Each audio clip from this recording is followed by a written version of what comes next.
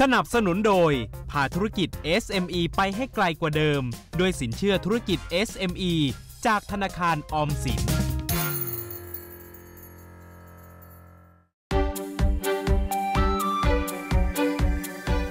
ระบาดของเชื้อไวรัสโคโรนายังสร้างความวิตกกังวลใจให้กับทุกคนนะครับ โดยเฉพาะสถานที่ที่มีผู้คนเดินทางไปมาอย่างแออัดครับ เช่นรถไฟ รถไฟฟ้า รถโดยสารสาธารณะต่างๆ นับว่าเป็นแหล่งแพร่เชื้อสำคัญหรือง่ายใกล้ตัวในวันนี้พามาติดตามการร่วมกันป้องกันการแพร่ระบาดในทุกรูปแบบของการเดินทางครับ พื้นที่ที่มีความเสี่ยง และก็ต้องเฝ้าระวังเรื่องของการแพร่ระบาดของไวรัสโคโรนาสายพันธุ์ใหม่ แน่นอนต้องเป็นสถานที่ที่มีคนมารวมตัวกันจำนวนมาก อย่างเช่นที่สถานีรถไฟ สถานีรถไฟฟ้า ทางกรมเองวางแนวทางป้องกันไว้ยังไงบ้างครับ ในเรื่องนี้เสริมเนื่องจากทางนโยบายของรัฐบาลในการป้องกันการแพร่ระบาดในเรื่องของไวรัสโคโรนานะครับแล้วก็ท่านรัฐมนตรีว่าการกระทรวงคมนาคม ได้สั่งการกำชับมายังกรมขนส่งทางราง และผู้ประกอบการทุกรายนะครับ เราจึงได้หารือร่วมกันในการวางมาตรการมาตรการเนี่ยก็คือเราแบ่งออกเป็น4 4ขั้นสี่ขั้นบันไดจากมาตรการปกตินะครับ ก็คือสถานการณ์ปกติที่ไม่มีโรค ไม่มีเหตุการณ์ใด ๆ เกิดขึ้นขณะนี้เรายกระดับมาเป็นเลเวลที่2 หรือว่าระดับที่ 2 แล้ว ก็คือระดับในเรื่องของการป้องกันการแพร่ระบาดนะครับ ซึ่งในระดับของการป้องกันการแพร่ระบาดเนี่ยเราก็ขอร้องแล้วก็ขอความร่วมมือผู้ประกอบการทุกรายนะครับให้ดำเนินการเพิ่มมาตรการ เช่น ในเรื่องของการทำความสะอาดจุดสัมผัสทั้งหมดนะครับจากวันละหนึ่งรอบนะครับก็เป็นวันละประมาณสามรอบถึงสี่รอบนะครับก็มีการเพิ่มความถี่มากขึ้นเพิ่มความถี่นะครับ แต่ว่า อย่างในบริเวณท่านจะเห็นว่าในบริเวณสถานีรถไฟหัวลำโพงเนี่ยบริเวณเบาะเบาะที่นั่ง แล้วก็จุดราวต่างๆเนี่ยก็ใช้ความความสะอาดด้วยน้ำยาฆ่าเชื้อไวรัสนะครับ ทั้งวันรวมถึงในเรื่องการรณรงค์นะครับในการขอให้พี่น้องประชาชนนะครับสวมหน้ากากอนามัยนะครับรวมแล้วก็มีเรื่องในการขอให้มีการวางเจลล้างมือนะครับแอลกอฮอล์ล้างมือนะครับ เพื่อทำให้เกิดความมั่นใจนะครับในการสัมผัสต่างๆนะครับว่า พี่น้องประชาชนเองก็จะได้มีความปลอดภัยจากเชื้อไวรัสต่างๆด้วยนะครับ ในการประเมินสถานการณ์นั้น ทางกรมการขนส่งทางราง ก็ได้ร่วมมือกับกรมควบคุมโรคติดตามประเมินทุกวันครับ ซึ่งก็มีหน่วยแพทย์เคลื่อนที่คอยให้บริการ ซึ่งหากประชาชนมีไข้แล้วสงสัยนะครับ ว่าจะติดเชื้อไวรัสโคโรนาก็สามารถตรวจสอบได้ทันทีครับโดยกรมการขนส่งทางรางเนี่ยก็จะเป็น center กลางในส่วนของการประสานผู้ให้บริการทางรางทั้งหมดนะครับ เรื่องนี้ทางรัฐมนตรีก็กำชับสั่งการทุกวันนะครับ ให้เราร่วมติดตามประเมินสถานการณ์แล้วก็รายงานผลการปฏิบัติงานทุกวันนะครับในขณะนี้ที่เท่าที่เราทำได้เนี่ยเราก็ร่วมกันแจกหน้ากากอนามัยนะครับให้ประชาชนร่วมกันรณรงค์ในการสวมใส่นะครับในการพบปะหรือการเดินทางทั้งหมดนะครับลูกสองก็คือเราขอร้องนะครับผู้ประกอบการทุกราย ให้พ่นน้ำยาโซเดียมไฮโปคลอไรด์ที่ความเข้มประมาณ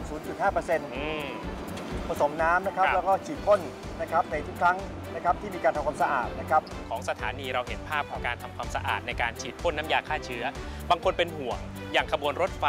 ต่างจังหวัดมีการเดินทางในระยะนานๆ การดูแลความสะอาดบนขบวนรถจะเป็นยังไงบ้างครับ ขณะนี้นะครับทางการรถไฟแห่งประเทศไทยนะครับก็ได้กำชับไปยังเจ้าหน้าที่ พนักงานที่ทำความสะอาดนะครับให้ทำความสะอาดทั้งวันครับเราจะมีพนักงานเจ้าหน้าที่ประจำรถขบวนรถอยู่แล้วนะฮะในการเช็ดราวต่างๆนะครับในการพ่นน้ำยาต่างๆนะครับโดยเฉพาะในพื้นที่ปิด โดยเฉพาะในพื้นที่ที่ให้บริการในรถไฟชั้น 1 ชั้น 2 นะครับที่อยู่ในแอร์นะครับก็จะเห็นว่าเมื่อสักครู่เราก็สาธิตในเรื่องของการพ่นน้ำยา แต่น้ำยานี้เป็นน้ำยาพิเศษนะครับซึ่งเป็นน้ำยาที่เรียกว่าเป็นสารสกัดจากน้ำมันมะพร้าว นะครับแล้วก็ซึ่งได้รับการรับรองจากสวทชว่าสามารถป้องกันแล้วก็ฆ่าเชื้อไวรัสได้อย่างดียิ่งนะครับ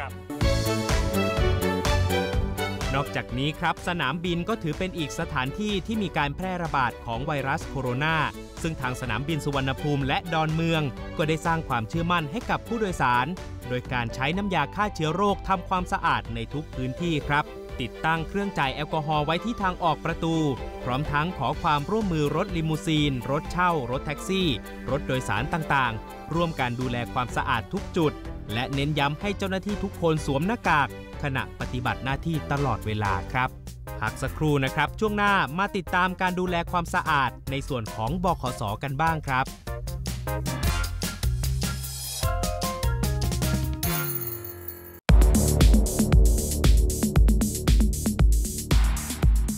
สถานีขนส่งเป็นสถานที่เดินทางสำคัญอีกแห่งหนึ่งของผู้โดยสารครับ ทางบขสจึงได้เร่งทำความสะอาดพื้นที่ ทั้งในส่วนตัวของรถโดยสารและเบาะนั่ง เพื่อเพิ่มความมั่นใจให้กับผู้โดยสารครับ ทางบขสเองก็มีมาตรการในการเฝ้าระวังการแพร่ระบาดของเชื้อไวรัสโคโรนาสายพันธุ์ใหม่ด้วย เป็นยังไงบ้างครับ ครับ วันนี้เป็นอิชชูใหญ่เลยครับนะครับ เรื่องนี้เอ่อทางเราเนี่ยเราเตรียมไว้สัก 3 ขั้นตอนหลักครับๆนะครับ ก็คือขั้นตอนเฝ้าระวังอืมนะครับ ขั้นตอนป้องกัน ครับ แล้วก็ขั้นตอนแก้ไขอืมครับเราก็จะแบ่งสัก 3 ขั้นตอน ครับ ในเรื่องของขั้นตอนเฝ้าระวังเนี่ยเราก็จะดูอยู่สัก 2 ส่วนหลักๆ ส่วนที่1เลยก็จะเป็นนักท่องเที่ยวต่างชาติก่อน ครับ ที่เราก็จะดูอาการนะครับว่ามีในเที่ยววิ่งเนี่ยครัที่บมีต่างชาติที่น่าจะเป็น